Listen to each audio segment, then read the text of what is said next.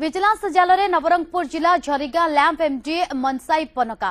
Jharigaon office ନୂଆଗୁଡ଼ାର ଦୁଇଟି ବାସଭବନରେ ଏକକାଳୀନ ଚଢ଼ାଉ କରୁଛି ଭିଜିଲାନ୍ସ ଟିମ୍। ରାୟଗଡ଼ା ଜୟପୁର ଏବଂ ନବରଙ୍ଗପୁରର ଚାରୋଟି ଭିଜିଲାନ୍ସ ଟିମ୍ ଚଢ଼ାଉ କରୁଛନ୍ତି। ଆୟ ବହିର୍ଭୂତ ସମ୍ପତ୍ତି ଠୁଳ ଏବଂ ଦୁର୍ନୀତି ଅଭିଯୋଗରେ ରେଡ୍ ଚାଲିଛି। ଏନେ ଅଧିକ ସୂଚନା ଦେବା ପାଇଁ ଆମ ସହିତ ଫୋନ୍ ଲାଇନ୍ରେ ଅଛନ୍ତି ଆମ ପ୍ରତିନିଧି ପି ପ୍ରକାଶ। ପି ପ୍ରକାଶ ବର୍ତ୍ତମାନ ସୁଦ୍ଧା ଭିଜିଲାନ୍ସ ରେଡ୍ ଚାଲିଛି?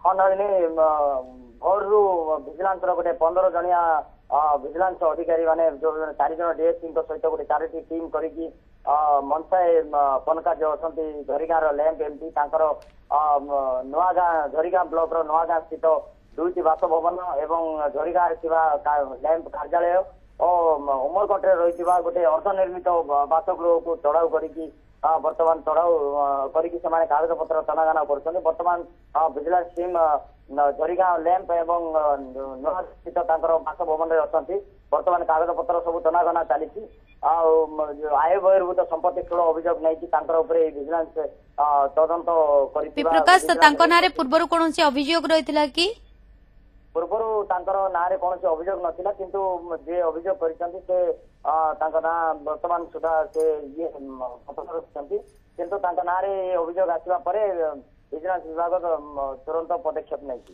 ପାଖାପାଖି କେତେ ଟଙ୍କାର ସମ୍ପତ୍ତି ଏ, ଜବତ କରାଗଲାଣି? ସେ ନେଇ କିଛି ଆକଳନ କରାଗଲାଣି କି? ନା ଆମେ ଡିଏସ୍ପିଙ୍କୁ ପଚାରିଥିଲୁ ଏ ସମ୍ବନ୍ଧରେ କିନ୍ତୁ ସେ ଅ, ବର୍ତ୍ତମାନ ସୁଦ୍ଧା କୌଣସି ଅ, ଅ, ତଥ୍ୟ ଦେବା ପାଇଁ ସେ ମନା କରିଛନ୍ତି ଯେ ଅ, ବର୍ତ୍ତମାନ ଚାଲିଛି ଅ, କାଗଜପତ୍ର ତନାଘନା ଓକେ ପି ଚାଲିଛି। ପ୍ରକାଶ ଆପଣ ଘଟଣା ଉପରେ ନଜର ରଖିଥାନ୍ତୁ ପରବର୍ତ୍ତୀ ସମୟରେ ଆବଶ୍ୟକ ପଡ଼ିଲେ ଆପଣଙ୍କ ପାଖକୁ ଫେରିବ ବହୁତ ବହୁତ ଧନ୍ୟବାଦ ଆପଣଙ୍କ ସମସ୍ତ ସୂଚନା ପାଇଁ